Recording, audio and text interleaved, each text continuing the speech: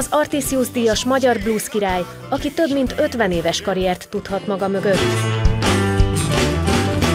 Nem csak a Hobo Blues Band zenekar tagjaként, hanem szóló karrierjében is nagy sikereket ért el. Olyan legendás lágerek köthetőek hozzá, mint a Rossz Vér,